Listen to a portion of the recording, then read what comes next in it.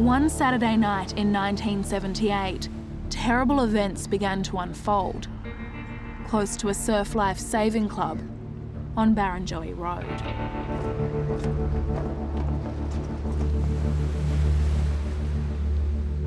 It was just after midnight when 18 year old Trudie Adams left the surf club dance. Public transport was unreliable, so she decided to hitchhike home. Trudie Adams was never seen again.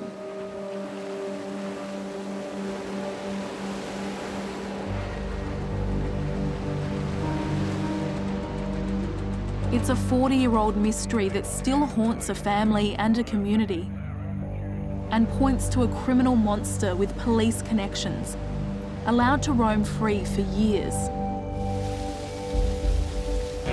My name is Ruby Jones. I'm an investigative journalist. I'm working with crime reporter Neil Mercer. We're investigating the unsolved disappearance and almost certain murder of Trudie Adams. What really intrigues me is this was such a big, high profile case, and it's the largest search in New South Wales history, and it's all over the newspapers, and mm. everybody wants to know what's happened to Trudie Adams. And there's also clear suspects, and yet nothing happens. After Trudie disappeared, a series of young women reported they'd been abducted on or near Barrenjoey Road, brought to bushland, and raped. Altogether, 14 women came forward. Police suspected a link between Trudie and the rapes. Two sets of suspects emerged, but initially neither was fully investigated and no one was charged. It appears they were in the sights pretty early. The question is, why didn't they ever get them? Whoever took Trudie got away with it. Whoever raped 14 young women got away with it. There's a great injustice here. I think that there is a chance that we could find something that was overlooked for whatever reason um, back when she did disappear. This case goes to bigger things how violence against women has often gone unpunished. But times have changed, and now, across society, there's a reckoning. What happened that night on Barrenjoey Road?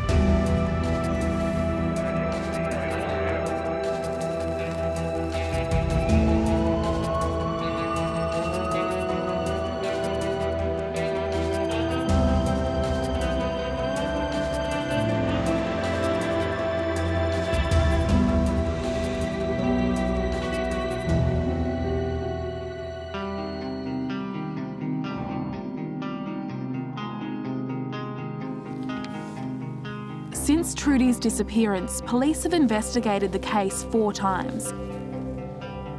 We requested access to their files, but they refused, saying they don't wish to participate out of consideration for Trudie's family. We contacted Trudie's brother John, but he also declined. Trudie's disappearance remains traumatic.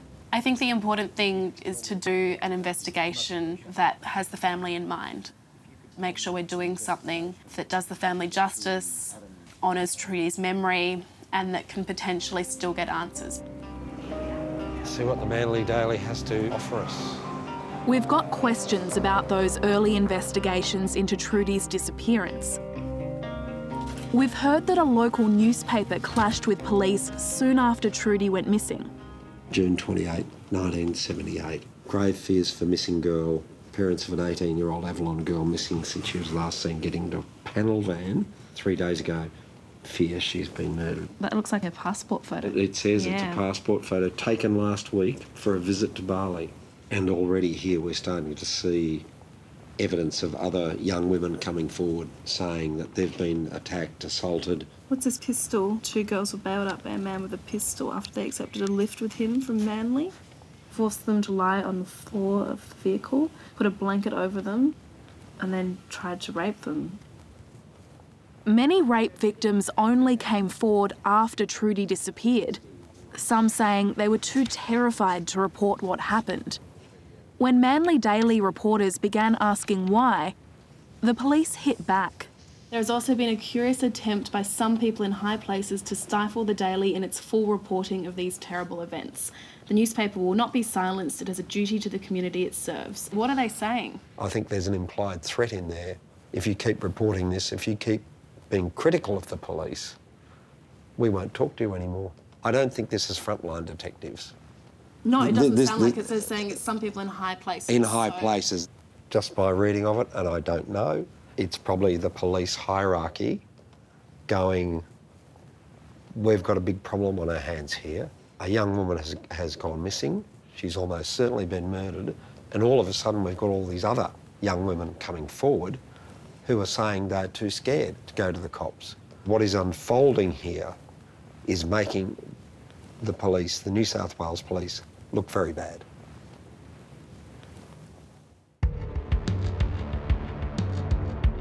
In the late 1970s, the papers were pressing police to stop drug crime. The northern beaches of Sydney were a hotspot for the expanding illicit drug trade. Trudie was planning a holiday in Bali. Some, including Trudie's mum Connie, believed she was being pressured to be a drug mule. Connie died not knowing what happened to her daughter.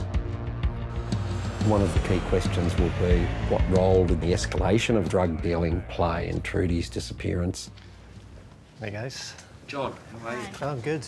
Manly Library archivist John McRitchie has researched Trudie's case and the Northern Beaches drug scene for 10 years. June 23, 1979. This is a year later. It mentions a drug connection. Mrs. Adams believes her daughter may have been killed because she was the meat in the sandwich over a drug deal. She said she found a letter which intimated that a drug deal was coming up. Trudie would have blown the whistle on any drug dealings, she said. She was against drugs. If you go through any of these volumes from the 70s, any page you care to look at, there are references to drug activity. This is one. $20,000 drugs. heroin pushers jailed. Mm.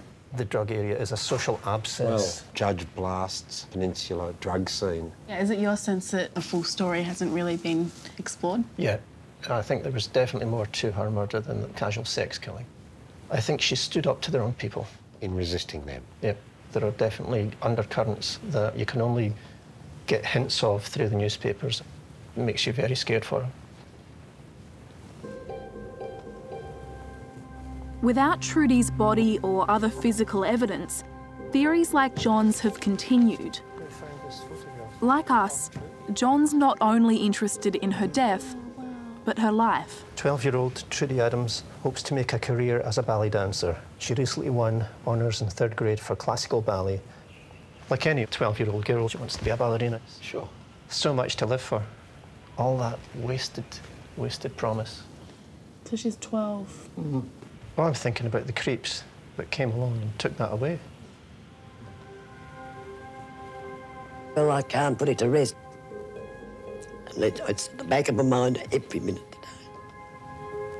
I think we need to always have in our minds what we're trying to achieve for Trudie's family and more generally for the whole community. And that is, we want to find out what happened to Trudie, who's responsible, and where her body is. Was Trudie killed for refusing to be a drug mule? Connie said she found a letter to support this theory. But if this letter exists, where is it? She was due to go to Bali, and obviously her mum has got this this firm idea that something happened to her in relation to that. Presumably, she would have given the letter to police if she found some letter that referenced drug dealing. You would think so. You would think so. We don't have access to the police evidence, but we'll keep looking for this letter to try to solve the mystery of whether Trudie's disappearance was drug related. But there's another mystery that hampered this case from the start. Confusion about the make and colour of the vehicle Trudie hitched a ride with on Barrenjoey Road. We know police, at least initially, thought it was a green combi. That was their first radio message. It's a green combi. But then by the next day, that had changed to a light coloured panel van. The police investigation revealed two sets of suspects one set linked to a panel van, the other to a combi. Trudie's boyfriend from the time, Steve Norris, was the last one to see her alive as she got into a panel van after a dance at the Newport Surf Club in 1978. Steve Norris has always been certain that the vehicle he saw was a fawn or beige Holden panel van. But Trudie's mum Connie was convinced that Steve told her it was a green Volkswagen combi. Don't know where that came from. Couldn't imagine me saying to her it was a green combi when, it, when I knew it wasn't, but how, how do you know? The first suspect we're going to look into owned a light coloured Holden panel van. His name was Neville Brian Tween. He was a safe breaker, drug dealer, and convicted sex offender. Though he died in jail in 2013, Tween and his police connections still cast a long shadow over Trudie's disappearance and the rapes. A number of the rape victims identified Tween as one of their attackers. All the rape victims were between 16 and 18 years old, often from the Newport area, often while trying to hitch a ride. The attacks were apparently particularly vicious. In 1978, Tween lived in the area. He knew the beaches and nearby bush. But despite being identified, Tween wasn't questioned about Trudie or the rapes. If you have enough evidence to charge people for some attacks and some rapes, then you kind of begin the process. But Yeah. when nothing happens, when they never get interviewed or charged, you know, I just feel like that's a missed opportunity. Yeah, well, they, they wouldn't be interviewed. If the cops showed up on Neville Tween's door, he would know, he would just not talk to them. Yeah, but if they had enough evidence to charge him, Yeah. that's a different story. He was a hardened criminal, very violent. And he doesn't have to talk. They can't force him. It's not clear to me why police didn't push harder on Neville Tween. And when they couldn't find Trudie's body, the investigation went cold. But six months after Trudie vanished, police became interested in a new group of young men. These men from the Sydney suburb of Roselands were overheard boasting that they'd killed Trudie Adams. Some of them had been visiting the northern beaches, and one had a green combi. These were the first links between the so called Roselands lads and Trudie. Who were these men from Roselands? And were their boasts true?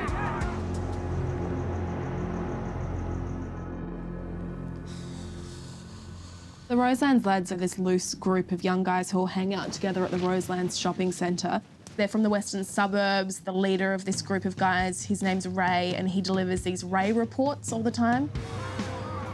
He mentions fights and things that he's done. It's this whole culture of bravado and bragging. The stories told about Trudie by some Roselands lads are so horrible they're difficult to repeat. One of the stories is that a group of the Roselands lads picked up Trudie Adams in a green combi van. They tried to have sex with her. She jumped out of the side of the combi van, hit her head on a telegraph pole. Some of them had sex with her, then dumped her body. A witness who can't be named reported this story to police in 1983. She was the girlfriend of one of the Roselands lads and claimed her boyfriend confessed to being involved after reading an article about the Trudie case. Another version of the story was even more bizarre.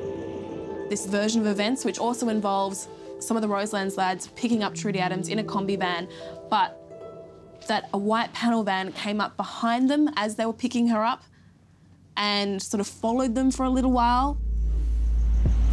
The secret witness said she was told that the panel van seemed to be deliberately following the green combi. And that when the Roselands lads stopped at a curbside, the panel van pulled up behind them.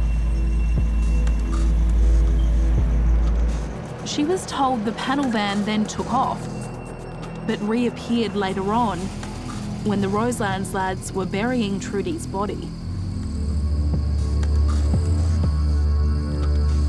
Adds to this utter confusion about a white coloured panel van and a green combi.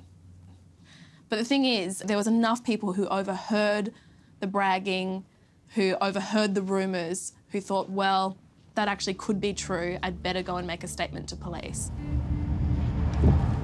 Despite these new leads, the Roselands lads were not taken seriously as suspects. The question is, why not? What's coming up is an awful lot of questions about the original police investigation. Was it well resourced? How long did it last? I have a feeling that when they didn't find Trudie, the investigation sort of not necessarily petered out, but police were taken off to do other things. Uh, and it became, well, a cold case.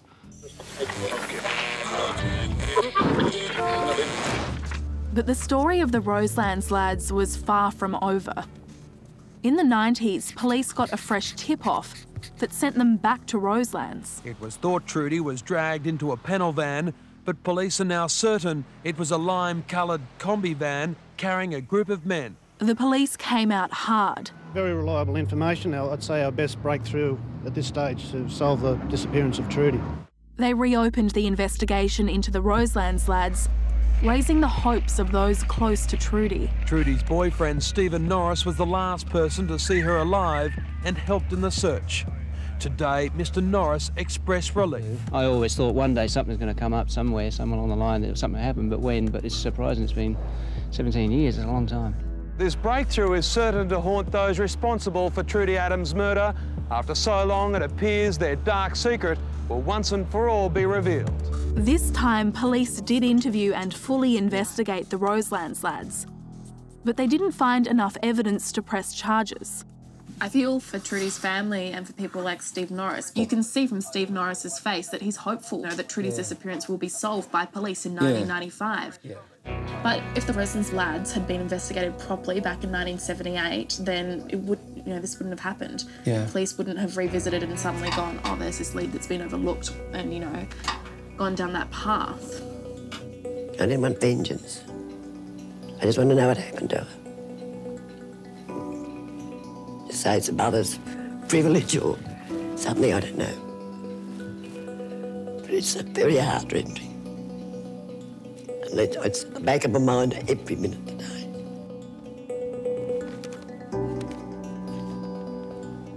So what happened? How could the police have run so hot and cold? We're meeting former cold case detective Gavin McKean. In 2008, he re examined all the evidence in Trudie's case, including links to the Roselands lads. It's in 1995 when there's a re-investigation that they come to notice, and there are some coincidences, if at, at the very least. Can you explain what they were? Yeah, so, I mean, they had a, a green combi. So if we say it was the combi, then that would be a coincidence. One of the guys uh, that was looked at in this particular Roselands group had a girlfriend allegedly over in that area and so had reason uh, to be in the area. The Northern Beaches? Yes, the Northern Beaches. But from my review of the investigation, it was pretty clear that it was only ever said in a way that was not believed. Having uh, significant experience working in homicide matters, it's not unusual to get people big noting themselves about crimes uh, that are very, very high profile. You might think it sounds insane for someone to do that, but it's not actually that uncommon. And that's what these guys essentially did, sprouting on about being involved in the matter. It just, it, it, to me, it didn't seem plausible. I suppose mm. that's what I've struggled with a bit because I don't understand why anyone would make up a specific story like the ones that they were telling. I don't understand why people do a lot of the things they do, but it does happen. People do make up stories to gain attention, to big note themselves. One of the lads that was involved in this had some mental problems, so that may be a reason enough from my understanding of that investigation, they expired as many leads as they could, and they weren't able to compile enough inculpatory evidence against these, these men to, to warrant any further action or any charges. Gavin's convinced the Roselands lads were just big noting themselves. But they were suspects for a murder for decades. We'd like to give them the right to reply. The Roselands Mall was Sydney's first big shopping complex. It's where the Roselands lads hung out in the late 70s. We want to find Ray, who we're told was the group's leader. We're going to go and knock on his door. He owned a green combi at the time that Trudie Adams disappeared, and he was part of this group of young men that was bragging about abducting, uh, raping, and murdering Trudie. One of the things we do know about members of this family is that they do have a criminal history. So whether they'll be pleased to see us or not, uh, I doubt it.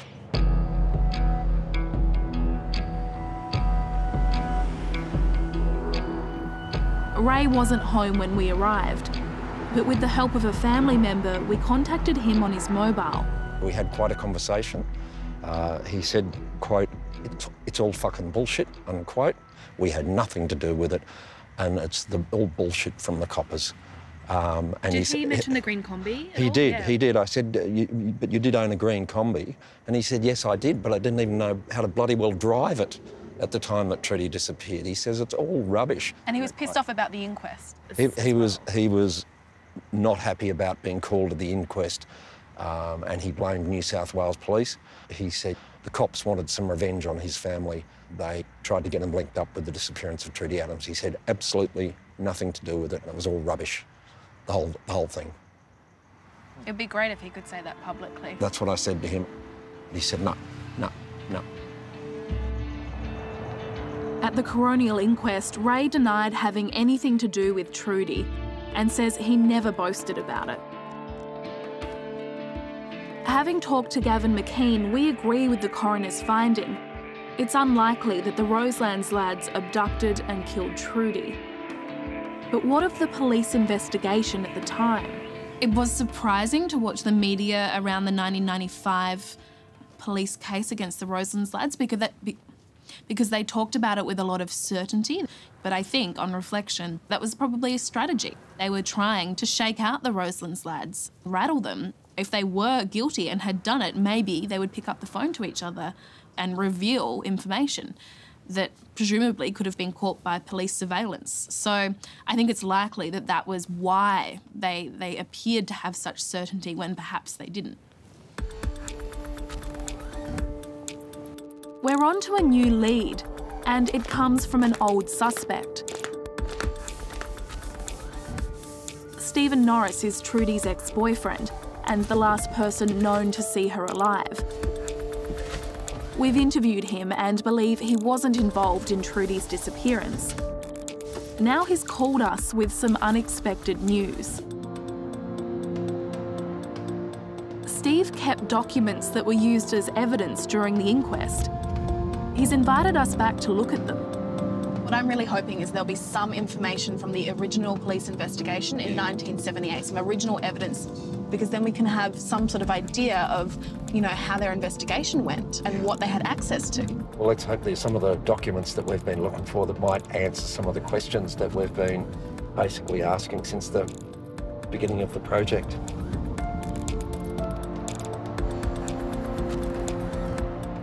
Got those documents I told you about the other day. See there, the, the volumes there. How long have you had these for? Well, since the coroner's inquest, so 2011. Great. From a reporter's point of view, uh, this Oh, is like finding some buried treasure. Yes. Mate, Yes. Yeah. fair income with Yeah, you. This exa- is I'm just sure. like Everything's in there from everything day one. From day one. This is the complete brief The evidence, evidence. from the wow. coroner's inquest. Look at the date, 24th of the 678. This is the very first one. Missing from 154 Central Road, Avalon. Last seen, etc., etc. And this is so valuable because we can speak to police officers who were there at the time, but they can't remember a lot of this detail anymore because it's 40 years ago. Yeah. But this is, you know, a record of exactly what happened. Yes. It's all Hand- recorded. handwritten statements in there, and you name it. it's There's in What appears to be hundreds of pages. Yes. This is a lot of the Roselands lads. What was that like to listen to? Look, I straight away had a feeling that these guys, they were just bragging, talking. You could just tell straight away it wasn't that. I, I felt, that's what I felt. Documents relating to Tween. People coming forward with information. There was one that took my eye just because it was about Tweens associates talking in the uh, exercise yard of a jail, how they mentioned about Northern Beaches, girls getting picked up. It's our first sight of Neville Tween's alleged associate, Leonard Evans. Although he denies it, this is what a cellmate says Evans told him in a prison exercise yard.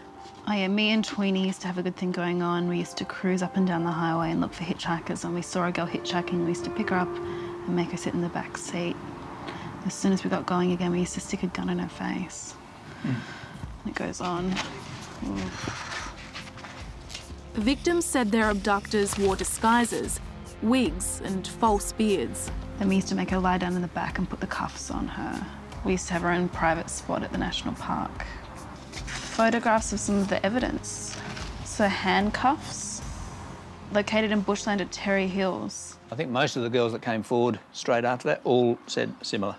You know, this gun thing and taken hmm. up to a remote area, and that was also similar. So it was just constantly happening between 74, 78. Yeah, it sounds like it was the same MO every time. Yeah. It was like this routine that they had. Yeah, there's pretty full-on stuff in there. Is it all right if we take these with us for a couple of months to, Yep. to, to look through them? Yep, absolutely. You take them and go through them and take as long as you need. Thank you. That's fine. Thank you very much. Thank mate. That's all right. We. Really appreciate Pleasure. it.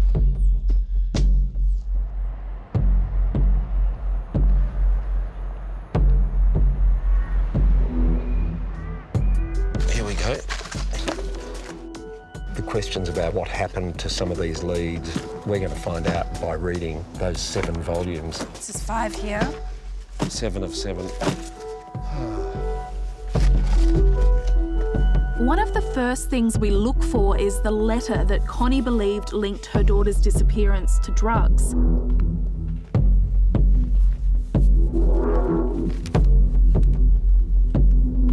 Nothing. But we find another letter, a glimpse into Trudie's world. This is a letter that Trudie wrote on Saturday. It's written within 24 hours of her disappearing. It's written to a friend who I think is in Canberra. She just seems so happy and carefree and so sweet. She says here, I've just been reading in the sun with mummy and eating avocado, in brackets, yummy, exclamation mark. like, it's just really sweet. She talks about Norrie, as she calls him, Steve Norris, and says that he's been coming over, they've been drinking wine and hanging out. We often knock over a bottle of wine, smoke ciggies and gundangs, or even sneak outside for a quick Scooby! Exclamation, exclamation. Connie thought someone was pushing Trudie to courier drugs on her upcoming trip to Bali. Trudie's letter does mention the holiday and drugs, but not in the way Connie suspected. Can you imagine when I land in Bali, step off the plane, see my friends pieced out Bali groovers waving from the fence? she's obviously really excited about this trip to Bali. She says to the person that she's writing to, Don't worry, we'll get you something pretty from Bali. And then in brackets, she's got, Oops, I don't mean drugs. kind of humorous to think about her joking about something like that when within a few weeks people are like seriously speculating on whether or not she was a drug runner from Bali. Whereas here, you know, obviously she's just kidding around. In one of these folders, there's a document I've read where police interviewed um, a group of people who actually did do a drug run, lived in that area, and they knew Trudie. And the police said, What do you think of this theory of Trudie Adams being a drug mule? And she said, quote, laughable. That's interesting. Somebody charged with a very serious drug offence who was from the area and knows her, just not on. So these are the people that actually were doing it. That, they, were, they were caught and they're saying it's a laughable notion that she would be involved in something like that. Yeah. One of the rumours that sprung up is she was linked up with some drug importing syndicate and she refused to cooperate, and that's the reason she was murdered. I think we've debunked that. I think the police don't believe it. I don't believe it. She was going for a holiday. She was really, really happy to be going to Bali. We need to start talking to people who knew Neville Tween.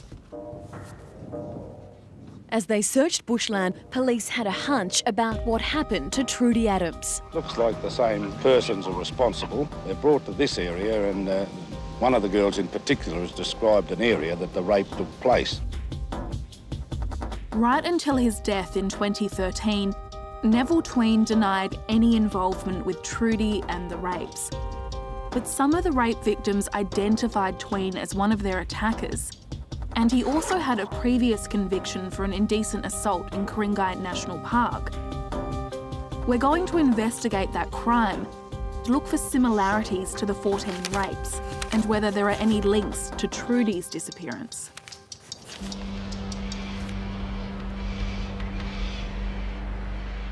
Three years before Trudie disappeared, Detective Bob Inkster investigated a crime at a bush site near the Northern Beaches. What were you coming down here to try to find?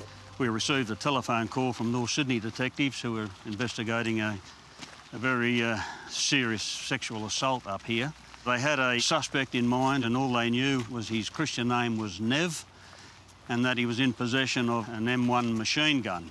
It immediately rang bells with the people in my office. They knew Nev immediately? Immediately, wow. that had to be Neville Brian Tween. A known safecracker and explosives expert, Tween had also been arrested for breaking into a military base and stealing weapons, including a machine gun. You think this is where it might have been? I couldn't say with any certainty that this was the spot, but it was very similar to this. At the site, Bob found evidence stolen safes blown open, a hidden cache of alcohol, later identified as the proceeds of a robbery, and some women's underwear. But the victim of this crime was a man. A young man was selling cannabis in the North Sydney area in small amounts. He met up with an offender by the name of Gary Batt. Batt said, well, my friend likes that, I'll buy it from you. Batt gave it to Neville Tween. And when uh, he opened it, he found it had been completely adulterated. Bits of grass and parsley chopped up to boost up the sale. The dealer had misjudged his new clients. Tween wasn't one to cross.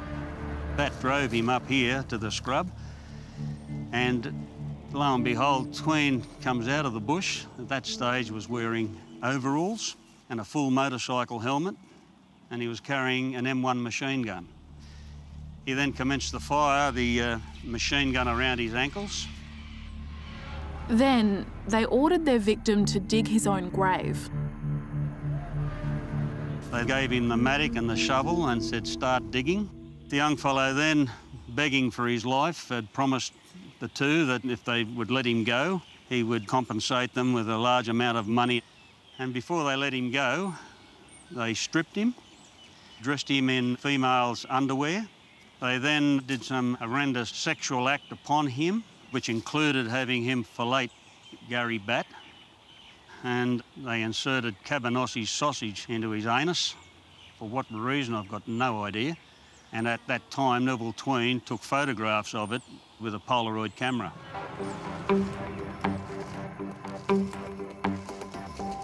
Turned loose, the victim reported the assault, and Bob's team raided Neville Tween's home. Tween could well have had the M1 machine gun in the house. We hit the door with a sledgehammer. He came straight out of his bedroom and we arrested him in the lounge room. A search of Tween's shed uncovered the Polaroid photographs. When you came across the Polaroids at Neville Tween's house of the assault, what was the first thing that you thought? Gotcha. It's the first thing we thought. Neville Tween and Gary Batt spent just six months in jail for this brutal assault. And one detail worries Bob to this day. With the great benefit of hindsight, and bearing in mind this was three years prior to Trudie Adams' disappearance, I've often asked myself, what would they be doing with young females' underwear at that time in the scrub here at Terry Hills? Could it have been that that underwear that they dressed this young man in had been kept as a trophy from a previous sexual assault? So it wouldn't surprise you if Neville Tween was involved in some of those other rapes on the northern beaches? I would not be surprised at all. He was a most violent and evil career criminal. I believe he was capable of committing any form of violent crime. Murder? It would not be out of his capability, no. At the 2011 inquest into Trudy's disappearance, Gary Batt recalled how he fell out with Tween after their conviction. When Neville Tween told his old partner in crime, disappear or I'll make you disappear, he feared for his life and fled to Victoria. Gary Batt said it was a moment that confirmed Tween was not only crazy, but also a sexual deviant. I wouldn't like to have him chase me down a dark alley of a night time. So, no, he's, he's a hard man. So it's clear Neville Tween was a violent and dangerous man. But could he have committed all 14 rapes in the national park? In the 70s, Tween was in and out of jail for various offences. I'm going to compare the dates of the 14 rapes with the periods he wasn't in jail. So in 1971, there's the first attacks in Sydney's northern beaches that we know of. So that's two separate attacks. At some point in 1971, Neville Tween moves to Adelaide. In July, he's jailed for three years and nine months. While Tween's locked up in South Australia, no rapes of this kind were reported. In 1975, there's this attack on a young man, which we know about because Tween was actually convicted. In 1975, Neville Tween is in jail. In 1977, these attacks start again. And then 1978 is the big year. They really ramp up. In April, there's two separate vicious attacks. And then on the 25th of June, Trudie Adams disappears. So it's confronting to look at these all lined up like this.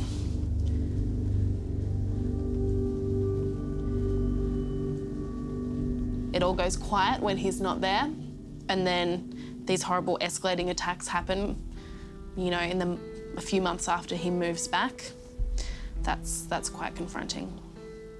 It just brings home what a dangerous time it would have been to be on the northern beaches then. Women are just getting picked off every couple of weeks.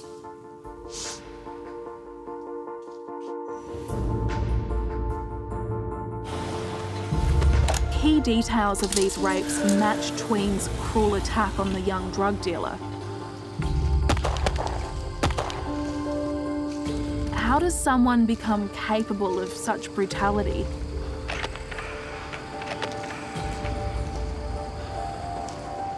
It's time to dig deeper into Neville Tween's criminal history.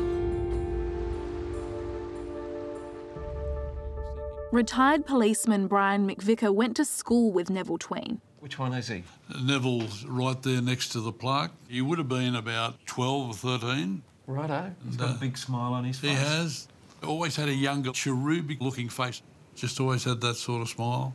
Always kept himself neat and tidy. So during those school years, did you ever hear or ever see him being intimidating or threatening in any way? No, the main thing was breaking into shops and things like that because one story, one day, someone said, oh, Neville's got pockets full of lollies, with the rumours he'd been in someone's premises and uh, helped himself.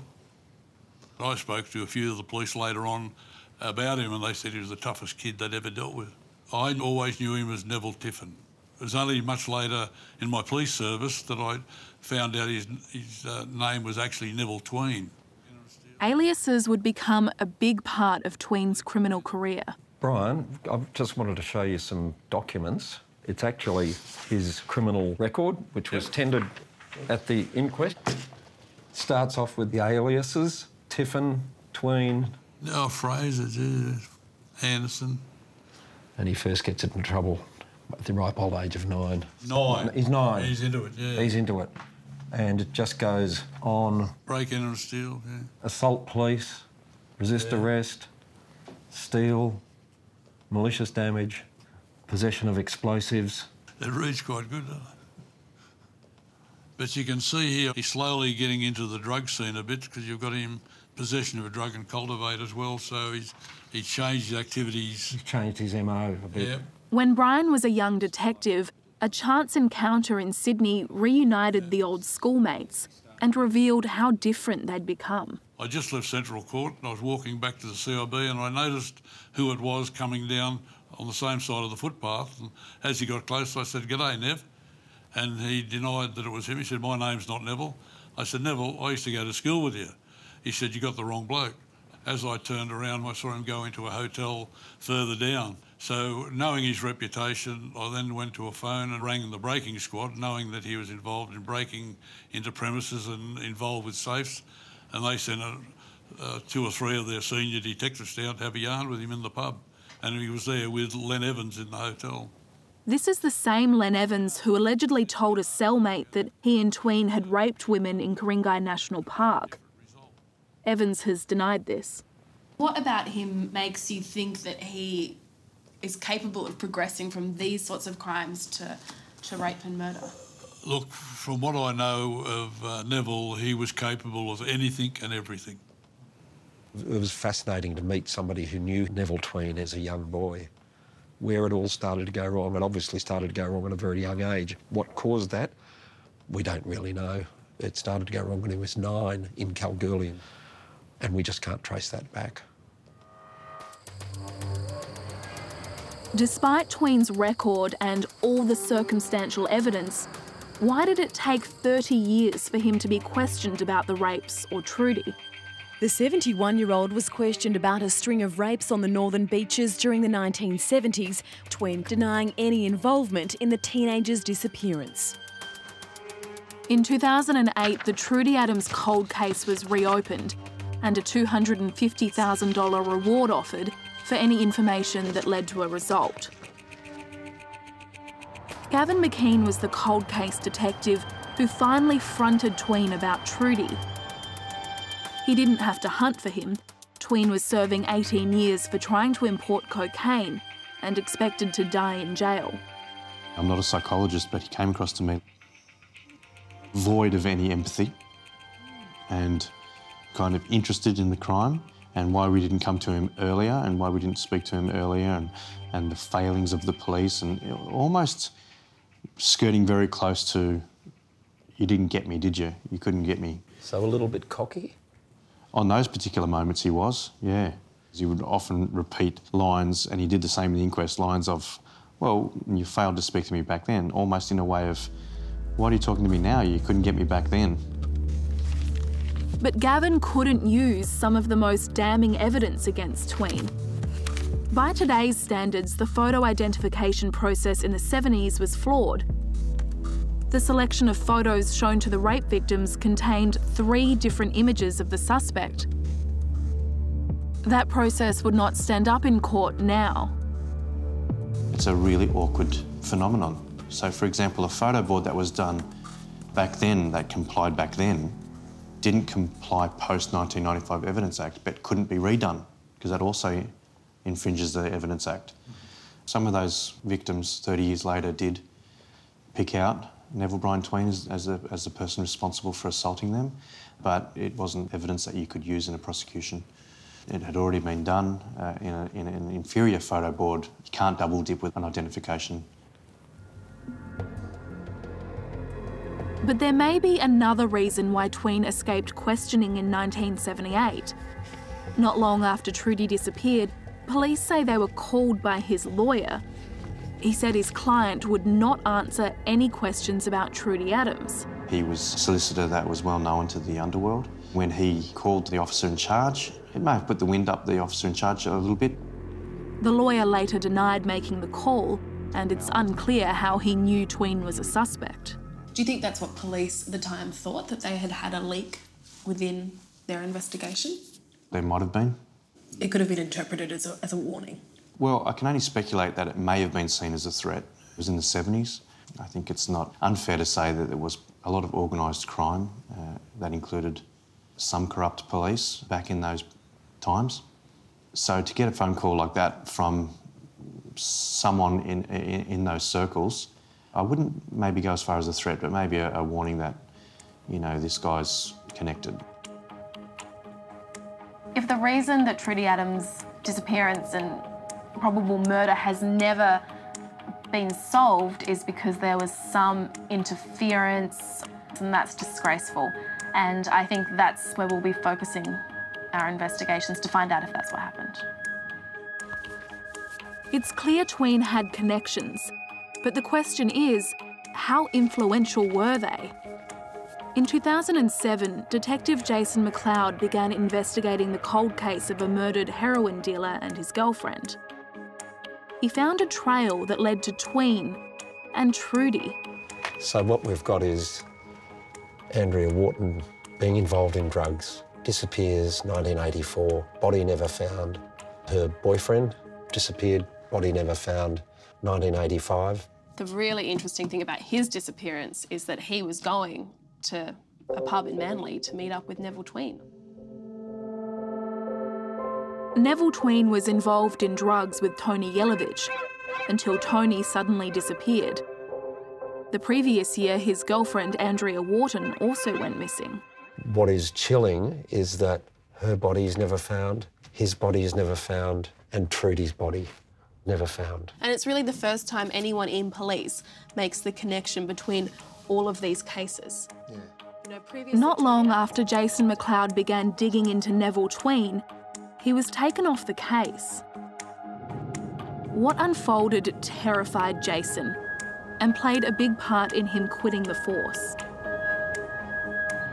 I think this is it on the on the left. Jason's never been interviewed before, but he's agreed to meet us in the hope that he might be able to contribute to a breakthrough in Trudie's case. Jason, hi. Come on in. I interviewed a former surveillance officer who was working on Tween back in the late 70s and 80s, and he told me straight up their jobs were regularly compromised. They were laying in a wait outside, I think it was a Terry Hills premises, where um, Neville was residing. They were going to follow him to do a particular job, and Neville walked out the front of the premises and looked down the street and gave gave the surveillance operatives away. He knew they were there. He knew they were there. Yeah.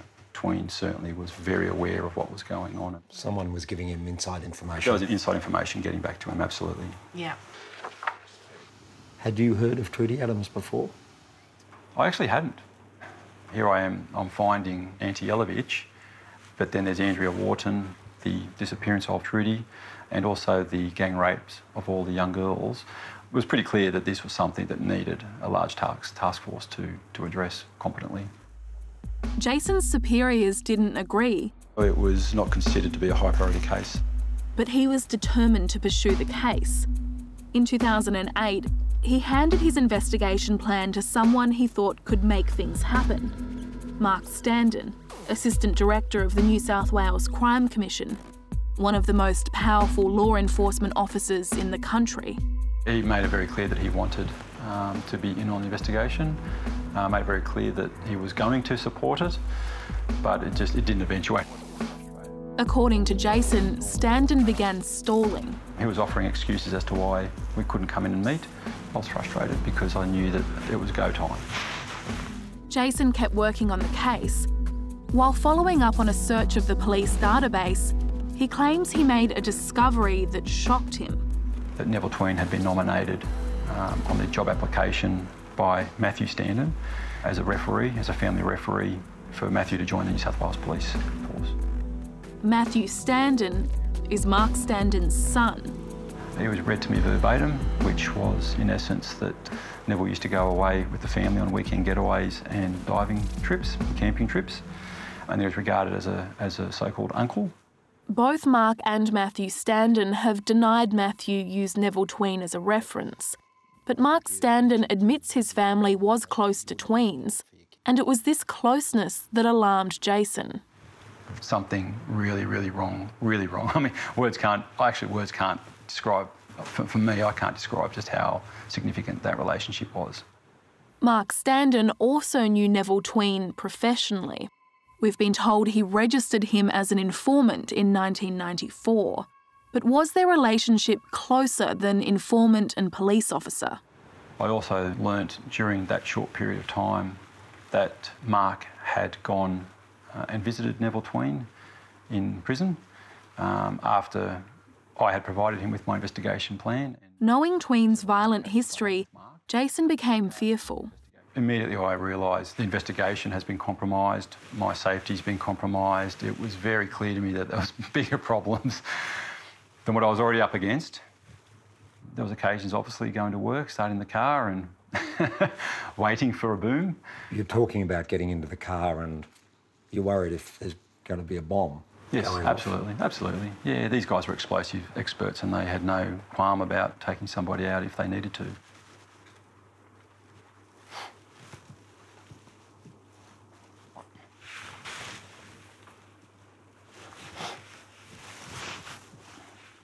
Jason told his superiors what he'd discovered, but nothing happened, and he was ordered to hand his investigation over to the cold case unit. Frightened and disillusioned, Jason McLeod quit the police. There was so much damage done emotionally that it was a good thing to go.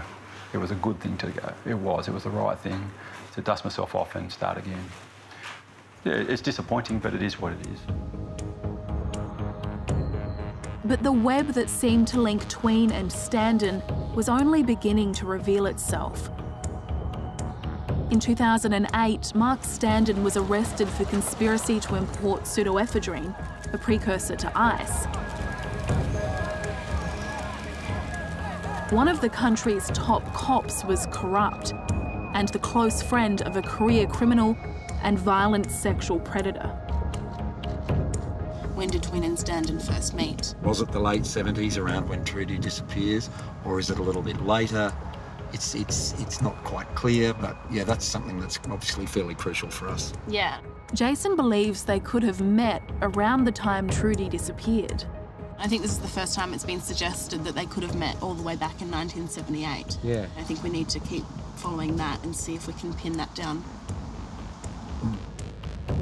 With Neville Tween dead, could Mark Standen be one of the last people alive to have information about Trudie Adams? Next time, we question Mark Standen about his unholy relationship with Neville Tween. Really, the puppet master isn't Standen, it's Tween. No one seemed to be looking into it. No one seemed prepared to be looking into it. Tween and the criminal justice system go head to head over Trudie. Not once did they even show a photograph, line me up to see the girls. And we put our discoveries to the test. Would they be enough to prosecute the man we believe killed Trudie Adams?